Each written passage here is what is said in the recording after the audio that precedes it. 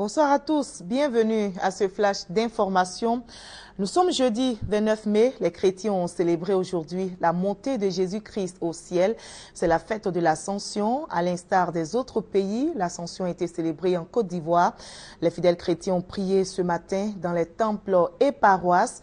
La victoire sous le péché a été célébrée. Les sermons ont porté notamment sur la paix et la fraternité.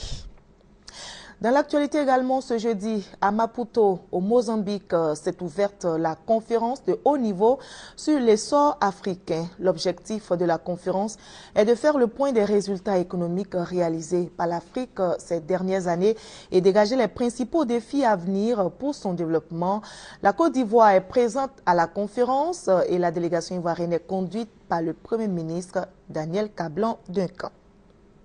Le Conseil de l'attente a 55 ans. La première organisation sous-régionale a vu le jour le 29 mai 1959 et ce 55e anniversaire a été célébré ici à Abidjan.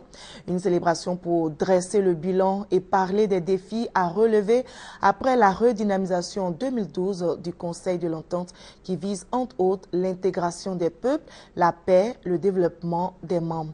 Et le Conseil de l'entente, il en sera question dans l'édition de 20 heures. Nous recevrons le secrétaire exécutif Patrice Okwame pour parler entre autres des défis qui attendent la première organisation sous-régionale, à savoir le Conseil de l'entente. Et hors de la Côte d'Ivoire, au Nigeria, le président Goodluck Jonathan durcit le ton contre les terroristes qui viennent encore de faire parler d'eux. Des combattants du groupe islamiste armé Boko Haram ont tué hier 35 personnes dans trois villages du nord-est du Nigeria. Euh, c'est dans l'est de Borno, proche de la frontière camerounaise. Ces derniers ont ouvert le feu sur les habitants et incendié les maisons. Depuis hier soir, Bangui, capitale centrafricaine, est sous le choc d'une attaque qui s'est produite contre l'église du quartier Fatima, attaque au cours de laquelle 15 personnes ont été tuées et 30 autres blessées. Un prêtre âgé de 76 ans a été tué au cours de ces violences et des combats opposants anti-balakai musulmans ont suivi aux abords de l'église où des milliers de déplacés avaient trouvé refuge. Des pneus en feu, des barricades érigées sur de nombreux axes routiers la capitale centrafricaine connaît un net regain de tension. Des chrétiens détruisent et pillent une mosquée pour exprimer leur colère. La colère qui se traduit aussi par une marche pacifique dans les rues de Bangui est dirigée contre les rebelles de l'ex-Séléka on estime que trop, c'est trop. Le peuple centrafricain a été massacré par la, coalition appelée Seleka. Elle continue d'être massacrée par des mercenaires qui sont protégés au kilomètre 5. Des gens sont enlevés. Il y a eu plusieurs dizaines de personnes qui ont été enlevées hier par ces criminels avec la protection de la MISCA burundaise. Au kilomètre 5, quartier de Bangui à majorité musulmane. Déploiement d'un imposant dispositif de la MISCA mission internationale de soutien à la Centrafrique. La force africaine protège les musulmans des représailles des chrétiens qui les accusent d'avoir attaqué la veille une église du centre-ville. Ce qui s'est passé hier, c'est vraiment la goutte d'eau qui déborde le vase. On ne peut plus supporter ça. C'est pas parce qu'il y a un abbé qui est décédé, mais je pense que même s'il y a un centrafricain qui tombe, qui meurt, ça doit nous émouvoir.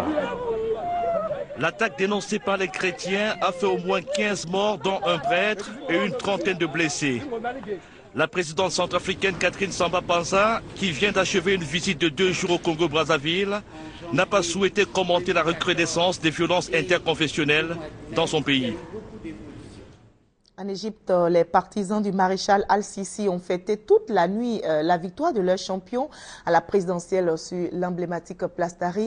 Selon les résultats provisoires, Al-Sisi a obtenu 97% des voix contre 3% seulement pour son adversaire de gauche qui a reconnu sa défaite aujourd'hui même.